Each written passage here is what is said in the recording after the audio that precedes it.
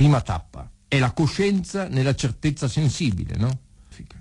Allora, primo momento, la coscienza nella sua certezza sensibile, so questo e quello, anzi avverto questo e quello. Percezione, ma se riflettiamo un momento nella percezione, in qualunque percezione, anche nella più elementare percezione, vi è qualcosa di più della percezione, no? Possiamo fare esperienza del percepire sensibilmente qualcosa che non sia anche qualcosa di più di un mero percepire.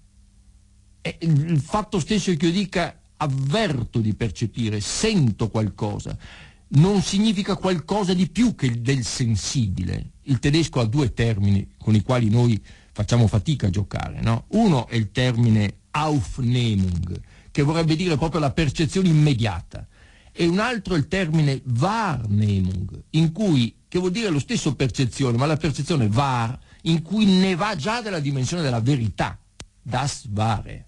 Quindi nella percezione sensibile vi è già questa contraddizione. Io sento sensibilmente questo, ma avverto che nel momento stesso che dico di sentire, e io sono già oltre la dimensione meramente passiva della sensibilità. Io dico di sentire, dico è vero che sento, Wahrnehmung.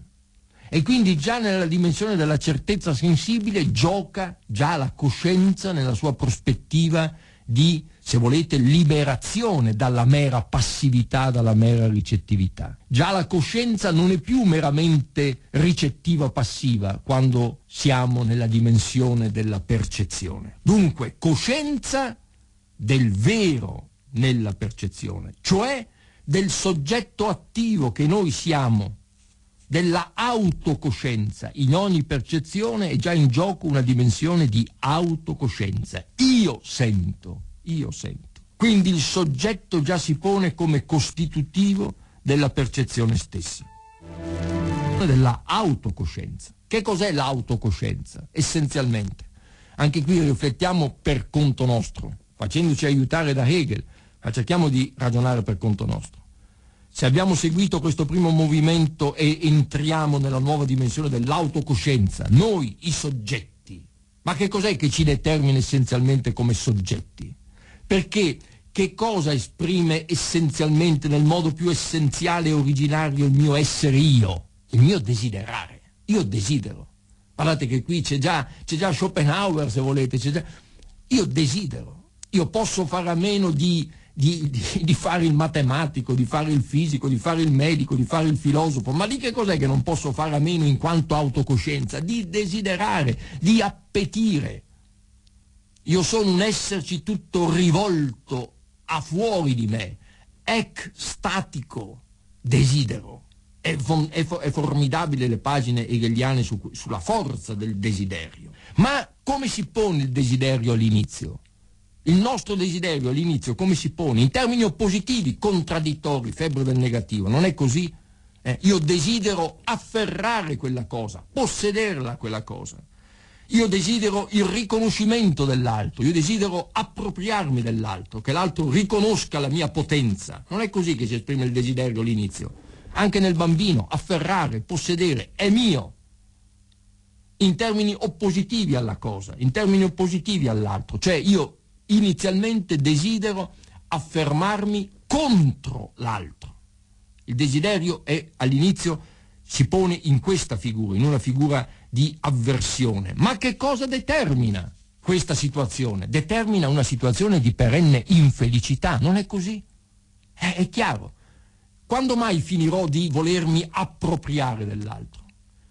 Se l'autocoscienza si ponesse soltanto nella forma di questo primo desiderio sarebbe una coscienza infelice, perché continuamente destinata a desiderare altro e altro e altro, senza mai fine, senza mai termine.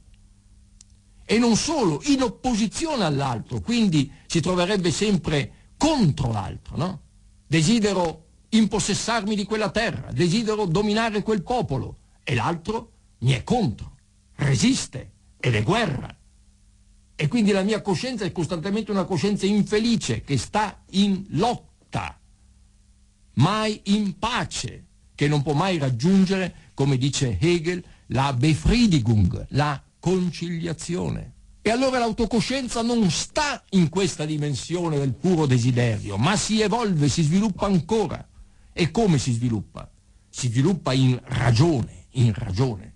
La ragione comprende questa situazione della coscienza infelice, del desiderio e della infelicità di un perenne desiderare.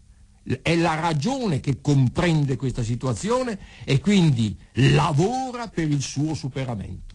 È la grande figura del dover essere, no? Anche qui ragioniamo noi per conto nostro. Se abbiamo seguito il movimento finora, che cosa avviene? Avviene che noi dobbiamo, sentiamo la necessità di doverci conciliare con il mondo perché altrimenti la nostra infelicità è insuperabile. Il nostro desiderio ci condanna all'infelicità. Quindi la figura del dover essere, le figure kantiane, le figure illuministiche del dover essere, cioè del dover superare l'opposizione tra il soggetto e il mondo, tra il soggetto e la realtà, tra noi e la realtà. È l'epoca delle virtù, eh? anche della virtù giacobina. Eh? Virtù. Noi dobbiamo appunto superare l'opposizione tra il soggetto e il mondo. Ma questo si pone nei termini, dice Hegel, del dover essere, di un continuo e insaziabile dover essere, sollen in tedesco, no? la figura del dover essere.